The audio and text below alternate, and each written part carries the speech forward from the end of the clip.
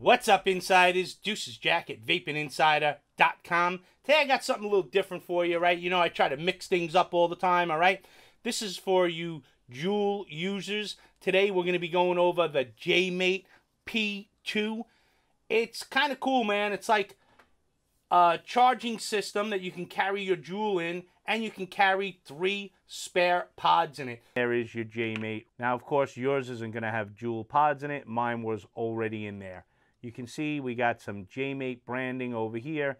This is the slot that will hold up to three Juul pods.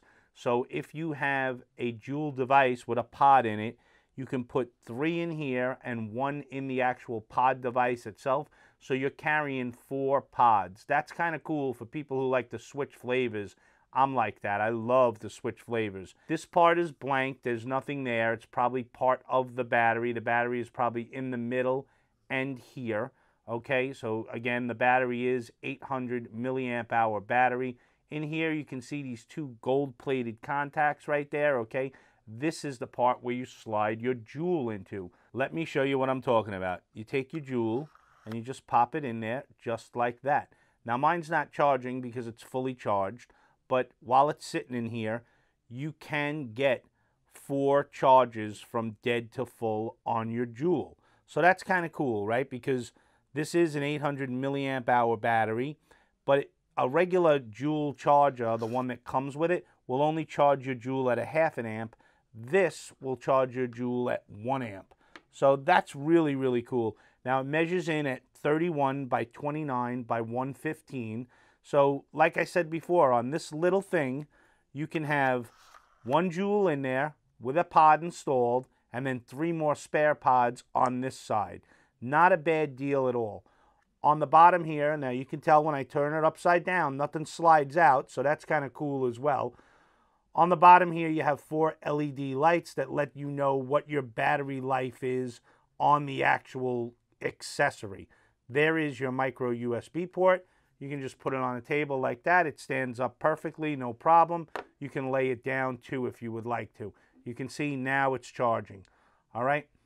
Just a really, really nice device. I wish they would have sent me the flat one. The first one I saw, I guess it's the P1, it's the flat one.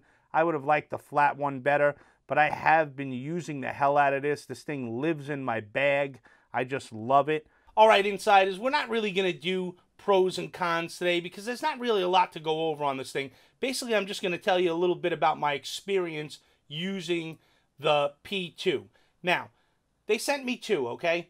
And I'm glad they sent me two. I like when companies send me two of each product just in case there's a problem with one. And in this case, there was. The first one that I opened up, I had a dead Juul and it wouldn't charge it from dead. I was like, whoa, what's going on here, right? Because as soon as I got it, I was like, this is perfect, man. My Juul is dead.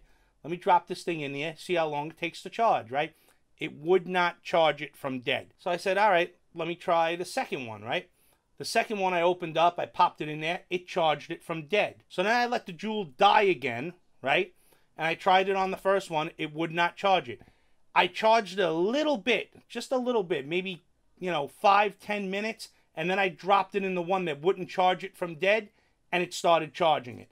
So I don't know what the problem is, why the one can't bring the Juul back from dead it's definitely an issue. I'm glad they sent two. Hopefully, it's a one off issue. I don't know, but that's my experience. Now, as far as using this thing goes, I have to say, man, I've been enjoying it. I tell you guys all the time, I'm always commuting, I'm always on the train, I'm always on the buses and stuff.